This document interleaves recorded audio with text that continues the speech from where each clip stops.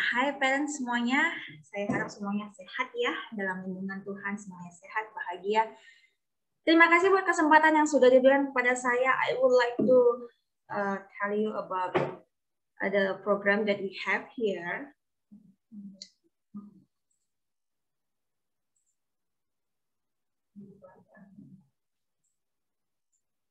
Saya percaya bahwasanya kita sebagai orang tua pasti punya pertimbangan tertentu untuk memilih uh, sekolah anak-anak. Benar kan? Bapak Ibu. Uh, jadi uh, mungkin pertimbangan kita yang pertama adalah dari segi biaya, tentu.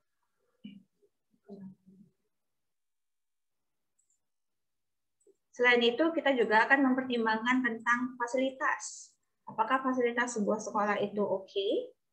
Nah, selain itu kita akan melihat bagaimana sih um, program pendidikannya, apakah cukup mumpuni, apakah setiap anak akan dibekali dengan ilmu pengetahuan yang baik, apakah anak saya akan dibekali dengan skill yang baru, seperti itu, atau pertimbangan yang lainnya adalah apakah sekolah anak saya nanti akan uh, diperhatikan pendidikan karakternya. Karena walau bagaimanapun pendidikan karakter itu sangat penting. Untuk apa kita memiliki banyak sekali kesuksesan, tapi karakternya tidak baik. Benar kan? Nah, jadi ketika Bapak Ibu memilih suatu sekolah, Bapak Ibu pasti mempertimbangkan banyak hal dan uh, kami di sini IB School, mungkin sekolah-sekolah lain juga memiliki hal yang sama. Mereka juga mempersiapkan anak dengan pengetahuan yang baik, dengan skill yang baik, dengan karakter yang baik. Tapi bedanya di IB School kami melakukannya dengan konsisten. Jadi kami tidak hanya sekedar cakap-cakap bahwasanya kami menjanjikan A, menjanjikan B, tapi kami benar-benar melakukannya, mempraktekannya. Nah, pada saat ini, pagi ini saya akan membahas tentang program ataupun kegiatan yang ada di elementary school. Nah, seperti yang sudah disebutkan Miss Renata tadi, bahwasanya kita punya yang namanya PBS. PBS merupakan singkatan dari Positive Behavior Support. Selain ini nantinya akan dimasukkan ke dalam mata pelajaran. Nah, ini merupakan suatu uh, kegiatan pembelajaran di mana kami sebagai guru mendukung semua perilaku anak yang berbau hal-hal yang positif, hal-hal yang baik itu selalu kita dukung. Nah, kami dengan rutin melakukan school assembly. Kalau Bapak Ibu bisa melihat di sini, di gambar ini, ini kami lakukan sebelum pandemi.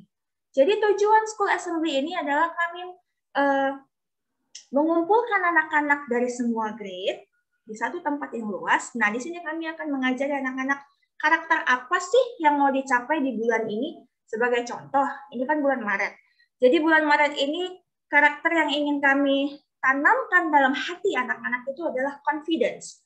Jadi selama assembly kami akan ajarkan confidence itu apa, bagaimana supaya kita bisa confidence, kemudian apa yang akan kita lakukan ketika kita melihat orang-orang terdekat kita confidence-nya kurang.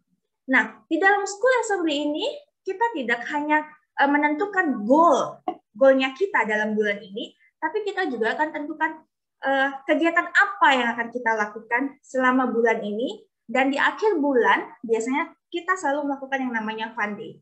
Nah, oleh karena pandemi, school assembly ditiadakan? Tidak. Kami tetap melakukan school assembly. School assembly kami lakukan melalui Zoom. Jadi kami akan ambil waktu uh, di dalam sesi belajar sekitar 15 sampai 30 menit untuk melakukan school assembly setiap harinya. Jadi kalau kita tatap muka, school assembly ini hanya sekali dalam sebulan dan itu dilakukan di awal bulan. Nah, kalau selama pandemi ini kita lakukannya setiap hari, kecuali hari Jumat. Karena hari Jumat kita punya jadwal pengambilan bahan. Nah, kemudian kita juga punya yang namanya tiket kupon atau kelas 7 point program. Kalau anak-anak tatap muka, maka setiap perilaku mereka kita akan reward dengan yang namanya tiket. Kapan nih anak-anak bisa dapat tiket? Kapan aja. Ketika mereka menolong temannya, ketika mereka menolong gurunya membawa barang, ketika mereka berinisiatif, ketika mereka bertanggung jawab, ketika apa pun hal positif yang mereka lakukan, kita akan reward dengan tiket. Jadi kami di sini kami sangat menghargai setiap detail perbuatan baik yang dilakukan oleh anak-anak. Nah, nantinya setiap akhir minggu di hari Jumat, tiket-tiket yang mereka kumpulkan akan mereka ubah menjadi kupon. Nah, kupon ini nantinya bisa mereka belanjakan di uh, school store ya. Jadi bisa dibelanjakan di school store. Jadi mereka mau apa aja mereka simpan. Jadi ini seperti uang ya, seperti uang. Nah, bagaimana Miss uh, ketika pandemi ini ya? Tidak mungkin kami memberikan tiket. Nah, kami akan ganti, kami modifikasi sedikit uh, program ini dengan yang namanya kelas 7 poin. Ini saya mengambil sedikit uh, nama anak-anak yang ada di kelas. Ini sebagai contoh Adriel. Nah, Adriel kelas dojo poinnya sudah 600-an, si anugerah sudah 200-an. Apa sih yang dinilai ke, uh, sehingga anak-anak bisa dapat kelas 7 poin ini? Nah, yang dinilai itu banyak. Ini hanya sebagai contoh ya, Bapak Ibu. Misalnya anak-anak ikut Zoom, nah mereka akan dapat poin. Ketika mereka mengirimkan tugas tepat waktu, mereka akan dapat poin. Nah, ini adalah eh, contoh-contoh bagaimana cara anak itu bisa mendapatkan kelas 7 poin. Seperti itu. Nah, ini tadi yang saya sampaikan bahwasanya kelas 7 poin mereka ataupun kuponnya mereka itu bisa mereka belanjakan di school store. Jadi, setiap barang-barang yang ada di sekolah ini eh, sebagian besar kebutuhan sekolah, ada juga sih beberapa yang mainan yang membuat mereka fun. Jadi seperti uh, rasanya akan beda ya, rasa bangga itu akan beda ketika kita mendapatkan sesuatu dengan usaha kita sendiri walaupun itu hanya satu buah pensil atau satu buah penghapus, tapi ketika anak itu mendapatkannya dari usahanya sendiri, saya yakin dan percaya bahwasanya anak-anak pasti akan lebih menghargai barangnya. Seperti itu. Jadi eh, selama pandemi ini, school store juga bisa kita lakukan di setiap hari Jumat. Jadi anak-anak eh, yang datang ke sekolah, selain mereka mengambil bahan dan materi, mereka bisa menukarkan kelas 7 poin mereka untuk barang-barang yang ada di school store. Nah, seperti visi yang telah disampaikan Mr. Denny bahwasanya kami ingin anak-anak kita nantinya akan menjadi pemimpin, maka ini merupakan salah satu bagian dari PBS, yaitu to be a patrol. Nah, anak-anak yang terpilih menjadi patrol ini mm, merupakan anak-anak yang kami percayai mereka punya kemampuan memimpin lebih, mereka punya kemampuan untuk bisa mengatur uh, teman-temannya mengatur supaya suasananya semuanya lebih baik. Nah, anak-anak yang terpilih sebagai petrol ini mereka akan kami tempatkan di beberapa spot. Ada di spot-spot bermain, ada di spot-spot di mana uh, anak-anak akan berjalan, misalnya ada beberapa petrol akan berdiri di hallway, di tangga, di depan kelas. Nah, mereka memegang tanda-tanda sign-sign yang nantinya itu akan mengingatkan setiap murid untuk mereka harus lakukan sesuai dengan yang sudah ditunjukkan. Selanjutnya, kita juga punya yang namanya student of the month. Nah, student of the month ini adalah mereka yang rajin membaca buku. Jadi, di sekolah kita, kita punya program literasi. Kita juga akan sediakan uh, reading journal. Jadi, setiap anak-anak kita motivasi untuk suka membaca. Setiap anak yang paling banyak membaca buku dalam satu bulan, kita akan reward mereka dengan Student of the Month. Nah, selain Student of the Month, kita juga punya yang namanya Spark of the Month. Spark of the Month ini kita punya dua kategori. Yang pertama, eh, selain membaca buku, kita juga mengajari anak supaya mereka punya hati yang generous, murah hati. Nah, anak-anak yang suka berdonasi buku, mereka akan masuk ke dalam Spark of the Month. Nah, spark of the month yang yang tiga ini, ini adalah anak-anak yang uh, mendapatkan nilai ujian nilai 100 lebih banyak, paling banyak di antara teman-teman yang lain. Jadi kita juga menghargai usaha mereka untuk tekun belajar di rumah, seperti itu. Nah, uh, ketika assembly tadi, ketika sudah ditentukan confidence itu apa, syarat-syaratnya supaya ikut pandai apa, nah ketika tatap muka, masing-masing wali kelas itu akan memilih tiga anak untuk bisa ikut funding. Bedanya, selama pandemi ini, semua anak bisa ikut funding. Nah, kegiatan-kegiatan yang kami lakukan juga banyak. Nah, salah satunya ini virtual. Jadi, kegiatan tentunya kegiatan-kegiatan yang menyenangkan. Kita juga lakukan limbo, kita juga lakukan bingo, kita juga pernah lakukan di sini ice cream party, popcorn and movie, Eh, kemudian camping, pinyata, banyak hal yang sudah pernah kita lakukan. Bahkan selama online pun kita tetap melakukan kegiatan fun day. Nah, ini merupakan hal yang sangat disukai anak-anak. Jadi biasanya ketika kita fun day, anak-anak yang terpilih tadi mereka boleh pakai kostum day. Nah, bagaimana dengan anak-anak yang belum terpilih untuk ikut fun day? Gak apa-apa, mereka juga masih bisa ikut kostum day dengan cara menukarkan tiket atau kupon mereka atau kelas uh, dojo point mereka dengan kostum pass. Jadi mereka tetap bisa berkostum ria ketika fun day. Nah, ini salah satu favoritnya anak-anak Disney kostum. Jadi semua anak-anak uh, suatu sekolah ini dipenuhi dengan princess-princess yang imut-imut, yang mungil-mungil. Nah, ini salah satu kostum yang kita pakai saat online. Ya, jadi ketika ini kalau nggak salah ini bulan lalu mismatch kostum. Jadi tidak hanya gurunya yang berkostum, anak-anaknya juga semuanya berkostum. Oke, okay. nah jadi saya rasa tidak ada halangannya bagi kita untuk tetap bisa mengajarkan karakter untuk anak-anak kita. Nah, itu tadi yang pertama tentang PBS. Program kita selanjutnya adalah outside school activities. Nah, kita berkomitmen supaya anak-anak juga bisa belajar dari mana saja, baik dia berada di sekolah maupun saat dia berada di luar sekolah. Nah, ketika berada di luar sekolah, kami juga sudah tetapkan kegiatan-kegiatan yang akan dijalani oleh anak-anak dan setiap grade-nya berbeda. Untuk grade 1, kita akan bawa mereka swimming. Jadi swimming ini Bapak Ibu bukan hanya sekedar main-main air, bukan hanya sekedar ciprat-cipratan air, tapi kami memang benar-benar menyediakan pelatih. Jadi anak-anak akan dibagi menjadi kelompok-kelompok kecil sekitar 5 sampai 7 anak dan mereka akan dilatih oleh oleh uh, pelatih yang profesional. Mereka akan diajari gimana sih cara berenang yang baik dan benar. Seperti itu. Nah, untuk field trip grade dulu kita bawa mereka untuk mengenal lebih dalam tentang budaya yang ada di Sumatera Utara, kita bawa ke Istana Maimun. Jadi tidak hanya mereka mendengarkan penjelasan tentang sejarah, tapi kita juga buat sesuatu yang fun. Kita buat uh, kompetisi. Kompetisi sederhana saja, menyusun puzzle. Untuk anak-anak yang kelas 3, nah mereka akan lebih mandiri ya, sudah makin besar kita bawa mereka untuk mengunjungi Susite. Jadi mereka harus benar-benar mendengarkan instruksi yang diberikan oleh chef step by step-nya sehingga mereka bisa membuat sandwich mereka sendiri. Bahkan saat itu chefnya menantang anak-anak kita untuk bisa membuat omelet sendiri. Jadi anak-anak benar-benar langsung praktek saat itu. Mereka langsung praktek masak omelet.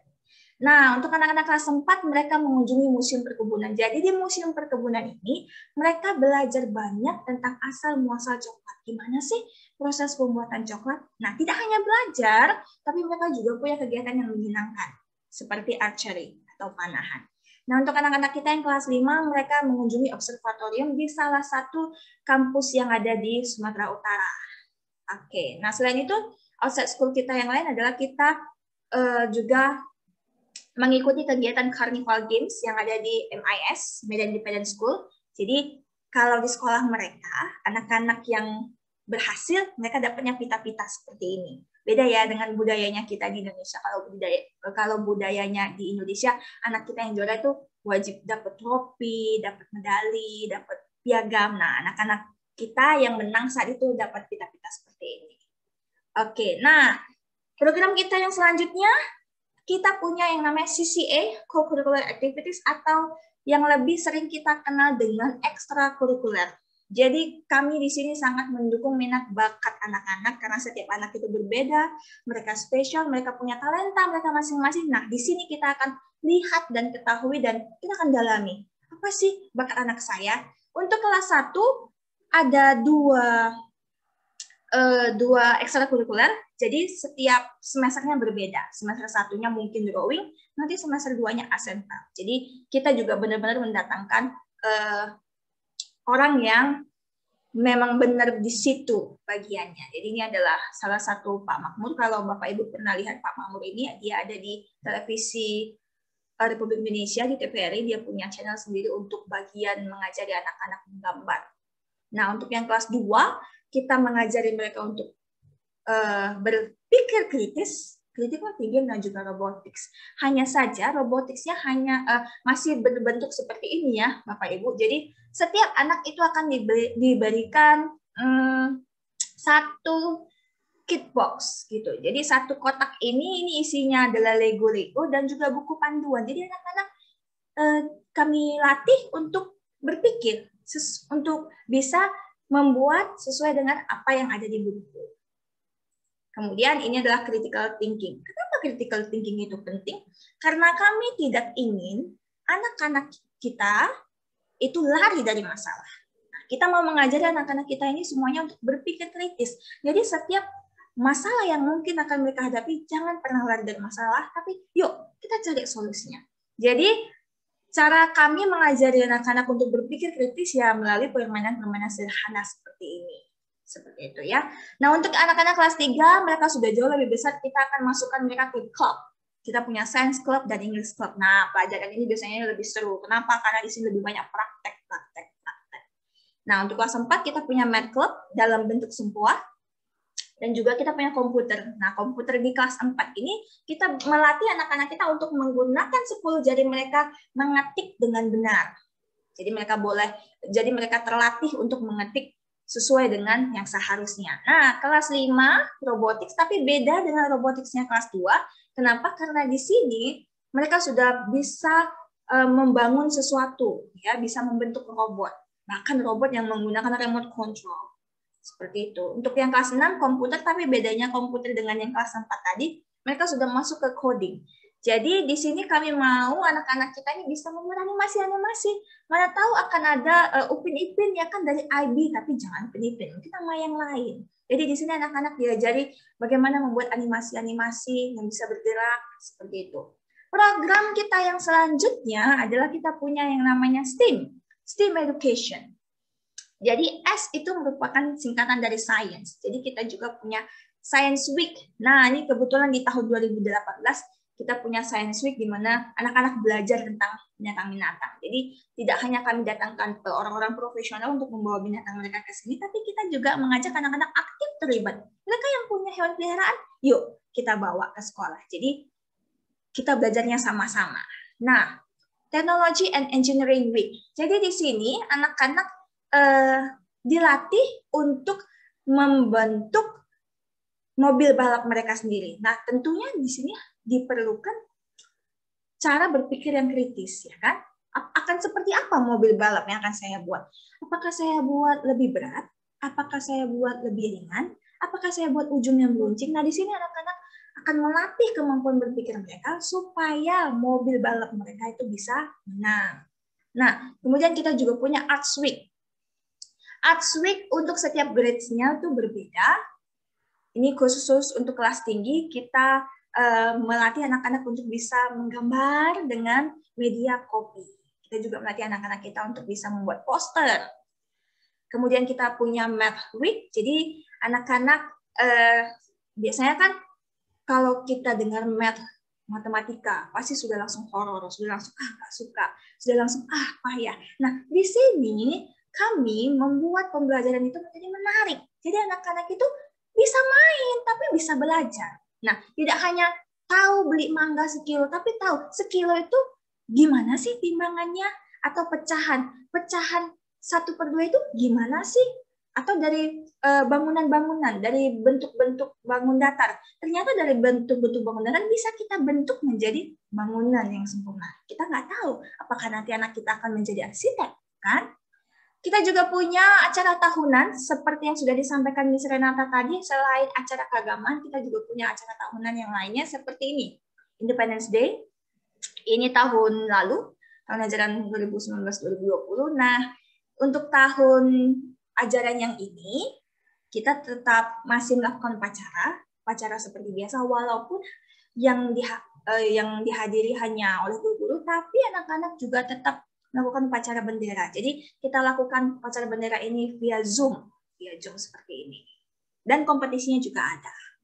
Nah, acara tahunan selanjutnya yang kita lakukan adalah open house seperti saat ini ya Bapak Ibu. Jadi biasanya open house yang kita adakan itu uh, acaranya acara besar. Jadi setiap open house kita selalu punya kegiatan yang berbeda-beda. Ada kegiatan di mana anak perform, ada kegiatan di mana anak-anak memang hanya berkompetisi, ada kegiatan di mana anak-anak bermain, dan tidak lupa di setiap open house kita juga mengajari anak-anak untuk uh, berwirausaha.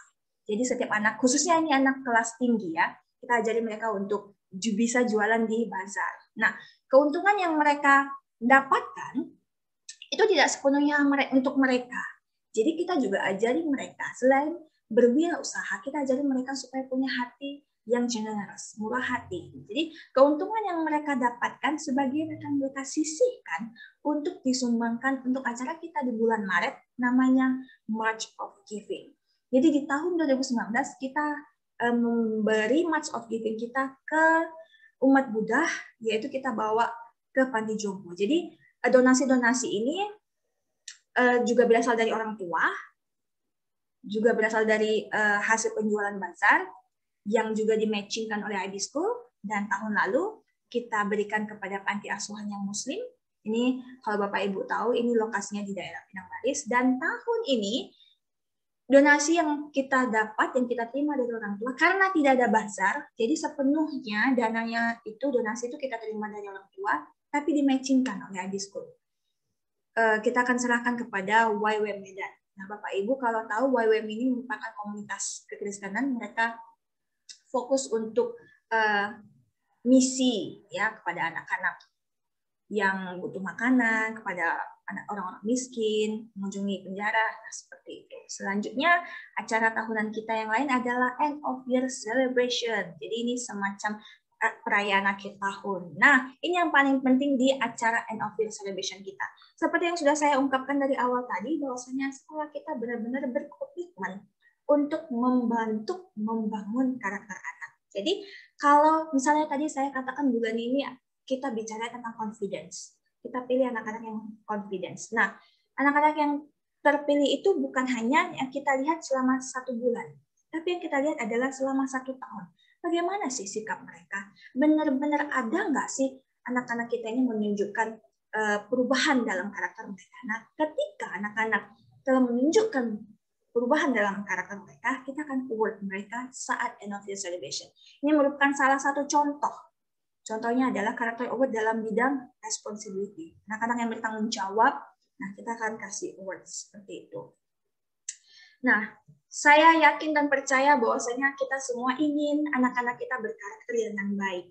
Nah, tentunya untuk membangun karakter anak tidak hanya dibutuhkan satu pihak, tapi dibutuhkan banyak pihak. Untuk itu saya menghimbau supaya pihak sekolah maupun pihak orang tua kita semua bisa bergandengan tangan, kita bisa bekerja bersama-sama untuk membentuk karakter anak kita. Jadi ya Bapak Ibu tahu ya, anak-anak nggak usah diajarin bohong, tapi mereka sudah bisa belajar bohong. Untuk itu kami di tempat ini juga uh, meminta kepada semua guru-guru di tempat ini supaya bisa menjadi panutan juga, supaya menjadi contoh dan harapan saya ketika anak-anak pulang dari sekolah, mereka melihat orang tua mereka dengan contoh yang sama yang ditunjukkan oleh gurunya, saya yakin dan percaya anak-anak kita pasti punya karakter yang terbaik. Dan mereka pasti akan men, me, bisa mendapatkan prestasi-prestasi yang luar biasa. Sekian dari saya, saya akan kembalikan Mr. Denny